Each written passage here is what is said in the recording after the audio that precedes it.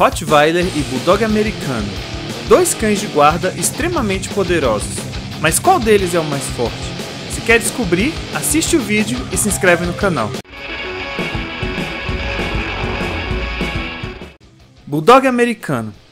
Os Bulldogs originais eram cães de trabalho que surgiram na Inglaterra inicialmente para pastorear o gado e guardar a propriedade de seus donos. A força desse animal o levou a ser utilizado no esporte de caça ao boi, um esporte brutal em que colocavam cães para enfrentar touros. E quando esse esporte foi proibido, o antigo Bulldog começou a dar origem a um cão mais baixo e pouco atlético, que chamamos hoje de Bulldog inglês.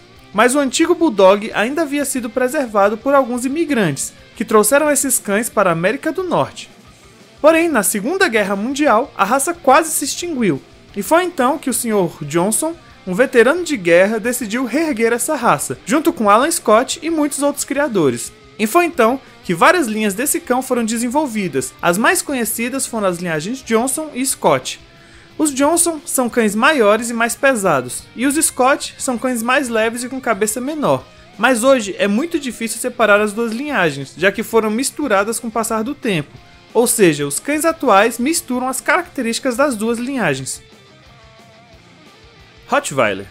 O Rottweiler é uma raça bem antiga, já que descende do antigo molosso romano, assim como o cane corso e o mastim napolitano. Esse cão foi originalmente criado como cão de guarda e boiadeiro.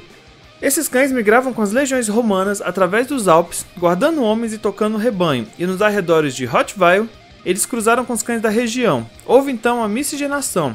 Os cães que surgiram a partir daí eram conhecidos como cão de açougueiro de Rottweil já que os açougueiros criavam essa raça por exibição sem fins de trabalho, e no decorrer do tempo, esse cão de passeio passou a ser utilizado como cão de tração. No início do século, quando se pesquisaram diversas raças para a função policial, o Rottweiler também foi avaliado, e em pouco tempo demonstrou ser extraordinariamente adequado às tarefas do serviço policial. Por essa razão, no ano de 1910, foi oficialmente reconhecido como um cão policial. Comparação Primeiramente, a versão utilizada do Bulldog americano será a linhagem Johnson, apesar de hoje as duas linhagens terem se misturado e ser difícil diferenciar um do outro, como diz o próprio padrão da raça. Mas, para qualquer fim, estamos utilizando a versão mais alta e pesada do Bulldog americano, e como de costume, utilizaremos o padrão da FCI, e os critérios utilizados serão altura, peso, força de mordida, agilidade, estamina, força física, inteligência e resistência. Altura: Os Rottweilers são cães bem robustos, mas também são bastante altos. Um Rottweiler fêmea mede de 56 a 63 centímetros, e como acontece com outros cães, os machos são maiores, medindo de 61 a 68 centímetros. Quanto ao Bulldog americano, se você pensa em um Bulldog com aquela imagem de baixinho e pesado do Bulldog inglês ou francês, vai ficar muito surpreso com o Bulldog americano, porque essa raça é realmente muito alta.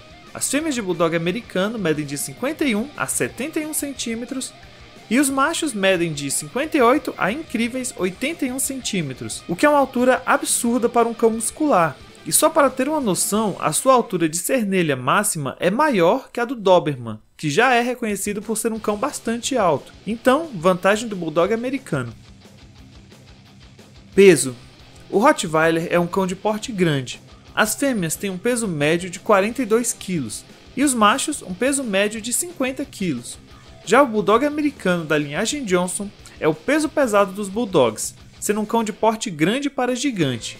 As fêmeas pesam de 32 a 59 kg e os machos pesam de 41 a 68 kg, o que significa que esse cachorro pode chegar ao mesmo peso do mastim tibetano, então dá para ver que é um cão bastante pesado, vantagem do Bulldog americano. Força de mordida. Aqui temos dois cães cujas mordidas foram filmadas e documentadas. A mordida do Bulldog americano é de 138 kg. Já a do Rottweiler é uma mordida um pouco mais pesada, correspondendo a 148 kg, tendo apenas 10 kg de diferença entre suas mordidas, então, nesse caso, a diferença não é grande o suficiente para ser considerada uma vantagem. E também é necessário citar que o Bulldog americano utilizado para medição era um cão bem pequeno, e é de se esperar que a versão maior do Bulldog americano com certeza teria uma força de mordida maior, talvez até superando a do Rottweiler. Mas, levando em consideração todas essas informações, vamos considerar um empate. Agilidade. O Rottweiler é um cão muito ágil para o seu porte, sendo capaz de saltar ou pular alturas razoáveis. Já o Bulldog americano, apesar de ser mais lento que o Rottweiler, não é um cão tão lento quanto o Bulldog inglês moderno. Como o próprio padrão mostra, é um cão com pernas longas e que, inclusive, já foi utilizado como cão de agarre. Mas, de qualquer forma, mesmo tendo uma excelente musculatura e uma boa altura, o fato de ser mais pesado acaba refletindo muito na sua agilidade. As versões menores podem ser mais rápidas que o Rottweiler, mas como estamos considerando a maior versão desse cão e, consequentemente, a mais lenta, a vantagem é do Rottweiler. Estamina. A estamina do Bulldog americano é algo complicado de se medir, porque alguns bulldogs americanos têm um focinho curto e outros têm um focinho normal, o que seriam mais funcionais. Mas, de qualquer forma, é um cão de musculatura muito pesada, o que acaba fazendo com que tenha menos fôlego. E mesmo que já tenha sido utilizado como cão de agarre, obviamente os cães de agarre têm que ser um pouco menores, já que um cão de quase 70 kg se cansaria muito fácil.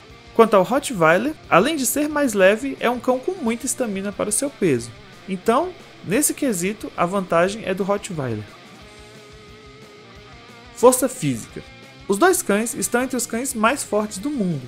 No quesito força física, o Rottweiler é sempre utilizado em campeonatos de tração, e o Bulldog americano, além de ser utilizado também para tração, ter uma força absurda tanto para puxar quanto para agarrar, é uma das raças que são inseridas para formar cães com alto poder de tração, já que é um dos cães com musculatura mais pesada do mundo.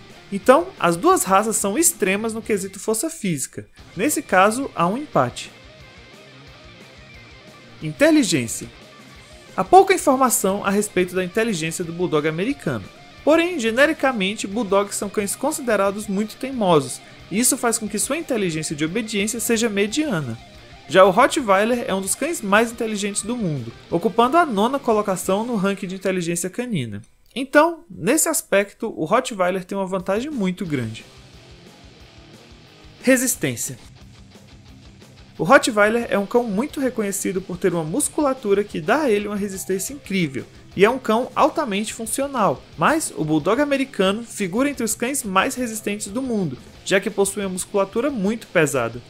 E essa musculatura é tão reconhecida que em muitos casos é utilizado para cruzamentos com outras raças para aumentar a musculatura e resistência.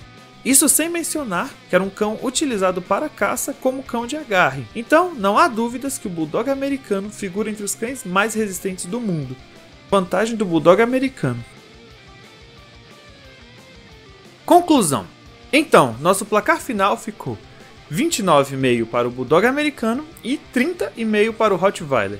Então, nosso campeão é o Rottweiler, porque é um cão que alia força, velocidade e inteligência. Ou seja, é um cão com atributos muito mais equilibrados que o Bulldog americano. Mas note que a maior vantagem do Rottweiler se dá exatamente na inteligência, em que ele é um destaque. Então, se considerarmos apenas os critérios físicos, o Bulldog americano seria superior, isso porque é um cão que foi selecionado para o trabalho, então sua musculatura não é uma questão apenas estética, como acontece com algumas raças atuais. Mas e aí, concorda com o vídeo? Discorda? Comenta aí embaixo e não se esqueça de se inscrever no canal e ativar o sininho para não perder nenhum vídeo.